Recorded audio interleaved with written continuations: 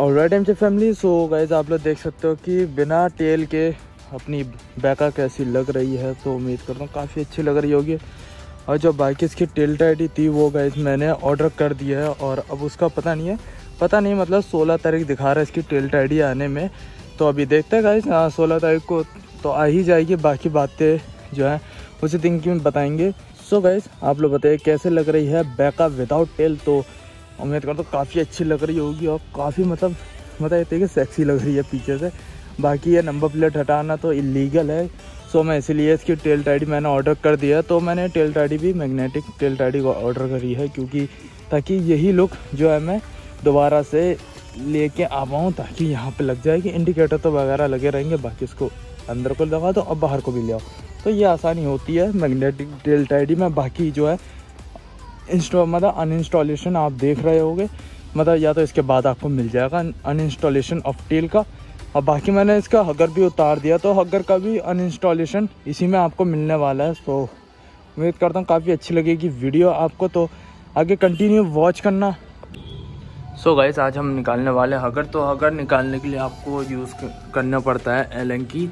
सो आप लोग देख सकते हो, एक ये नट है इसका, और एक ऊपर आपको दिख जाएगा इस साइड भी है तो इन दो को खोलने के बाद आप लोग को एल की जो है वो के में ही ऑलरेडी मिल जाएगी।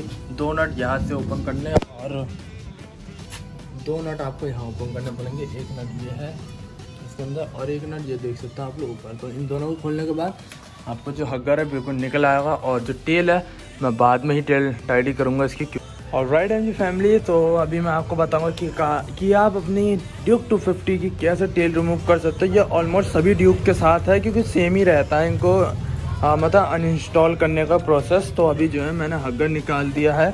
बाइक का तो देख सकते हो काफ़ी ज़्यादा ब्रॉड लुक आ रहा था और इसकी टेल हटाने से और ब्रॉड लुक आ जाएगा।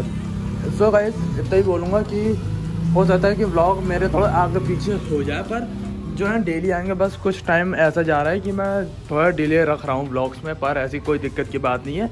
जो भी होगा रेगुलर आपको अपडेट मिलती रहेगी। सो गाइज़ चलिए फिर स्टार्ट करते हैं अपना ब्लॉग और बताते कैसे आपको करना है इसका अनइंस्टॉल सो गाइज़ हमारी टेल रेडी पूरी हो चुकी है और हमें इसको निकालने के लिए चार नट लेके थे, जो आपको मैं दिखा दूँ। तो ये रही मेरी पूरी टेल तो देख सकते हैं यहाँ पे आपको चार नट के होल दिखाई दे रहे होंगे तो इन्हीं चार नट्स को खोल के मैंने टेल टाइडी हटा दी। और इसका वेट भी गाइस लगभग काफ़ी अच्छा खासा वेट है बहुत वेट है इसमें भी। और बाकी इसको रख देते हैं। देख सकते हो गैस मैंने हकर भी निकाल रखा है अभी। सो काफ़ी ब्रॉड लुक आ रहा है इससे। और बाकी जो है सिनेमेटिक तो बाहर ही जाके आपको मिलने वाले हैं तो चलिए फिर बाहर चलते हैं इसे लेके। में लेके जाते हैं ना। हाँ।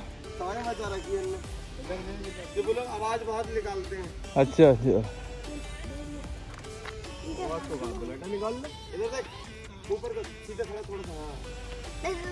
यूट्यूब पे वीडियो देखता हूँ ना हाँ। तो दिखती है। मेरा भी चैनल है। मेरा एम जी थ्रॉटल के नाम से। सब्सक्राइब कर दो भाई। 1.6 के प्लस है।